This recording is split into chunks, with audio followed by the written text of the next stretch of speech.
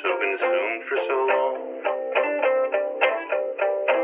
Writhing on the stage is a drought and laughter, and I go up and down the aisle, the fingernail chalk. And it's been so long.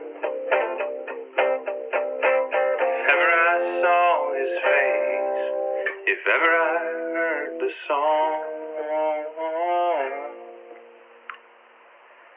it struck me as a rash decision, saying you'd loved me ever since I first encroached your line of vision. I was an actor in remission and only told lies by omission. He tried and tried so hard to tell me about solitude and desperation and left flank numbness in this great golden age of avant-garde cable television. Oh, can't say it, I believed you. What was I to say? Every time I tried to dress my best, you said there's something in the way.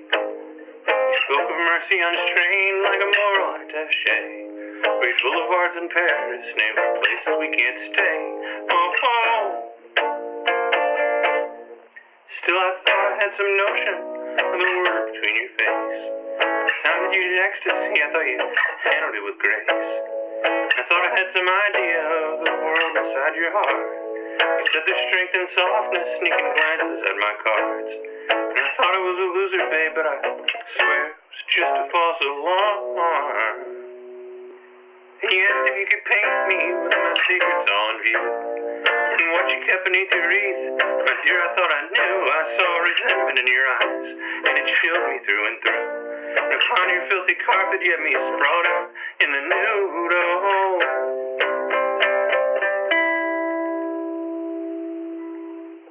And I forgot the name of the commander in chief. He said, if you're gonna have a little stroke on me, could you please keep it quiet? Could you please keep it brief? It was I spit on your grave, and a boy and his dog, Mad Max, on Pax Amadia.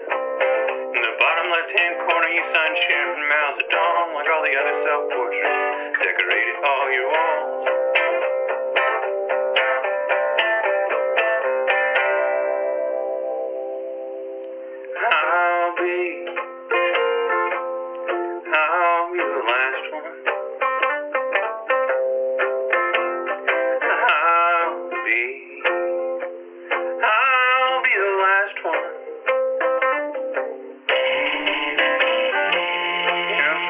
Purple, baby,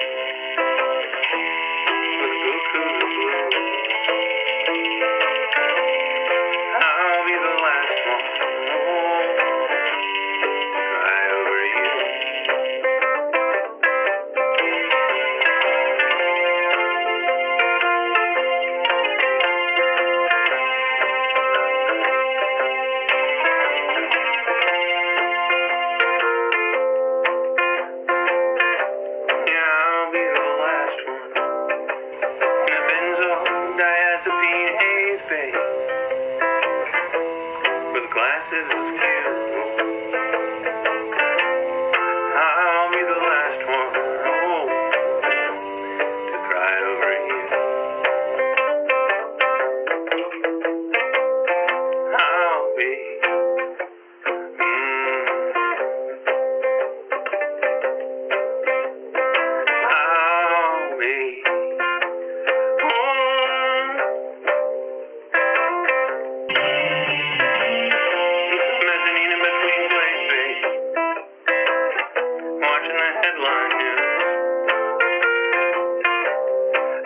be the last one to cry over you.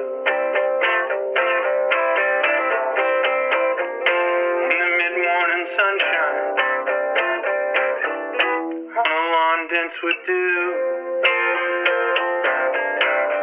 I'll be the last one